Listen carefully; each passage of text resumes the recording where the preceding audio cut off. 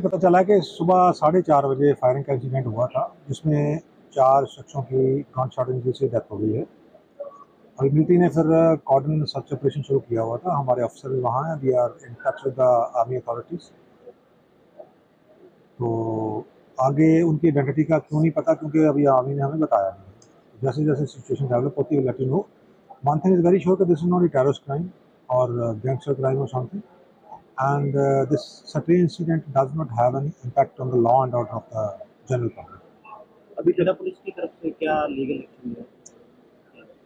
नहीं हम तो कार्रवाई कानून के हिसाब से करेंगे वो हमें इन्फॉर्म करते हैं फॉर्मली जो मिलिट्री अथॉरिटीज़ हैं उसके बाद हम जो लॉफुल एक्शन बनता है वो करते हैं। सर एक राइफल भी चोरी हुई थी वहाँ एफ़ आई आर उन्होंने करवाई थी दो तीन दिन पहले वहाँ से कोई राइफल चोरी हुई थी तो that investigation also under way तो अभी देखना ये होगा कि वो इंसिडेंट और ये इंसिडेंट का कोई रिलेशन है या दे आर सेपरेट इंसिडेंट्स अभी तक की क्या इन्फॉर्मेशन है सर? अभी तक? अभी तक वही है कि चार जो बंदे हैं उनकी डेथ हो चुकी है एंड जो जॉइंट कासू है वो चल रहा है।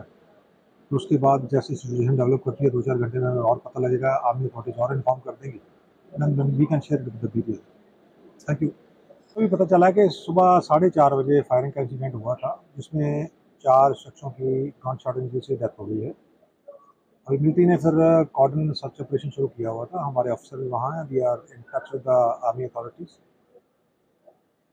तो आगे उनकी आइडेंटिटी का क्यों नहीं पता? क्योंकि अभी आर्मी ने हमें बताया नहीं। जैसे जैसे सिचुएशन डेवलप होती है let you know one thing is very sure this is not a terrorist crime और गैंगस्टर क्राइम और something and uh, this Satri incident does not have any impact on the law and order of the general public. अभी जिला police की तरफ़ से क्या legal action नहीं हम तो कार्रवाई कानून के हिसाब से करेंगे वो हमें इन्फॉर्म करते हैं फॉर्मली जो मिलिट्री अथॉरिटीज़ हैं उसके बाद हम जो लॉफुल एक्शन बनता है वो करते हैं।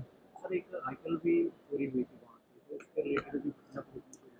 एफ़ आई आर उन्होंने करवाई थी दो तीन दिन पहले वहाँ से कोई राइफल चोरी हुई थी तो that investigation also under way तो अभी देखना ये होगा कि वो इंसिडेंट और ये इंसिडेंट का कोई रिलेशन है या दे आर सेपरेट इंसिडेंट्स अभी तक की क्या इन्फॉर्मेशन है सर? अभी तक? अभी तक वही है कि चार जो बंदे हैं उनकी डेथ हो चुकी है एंड जो जॉइंट कासू है वो चल रहा है। तो उसके बाद जैसे सिचुएशन डेवलप करती है दो चार घंटे में और पता लगेगा आर्मी अथॉरिटीज और इन्फॉर्म कर देंगी। We can share with the thank you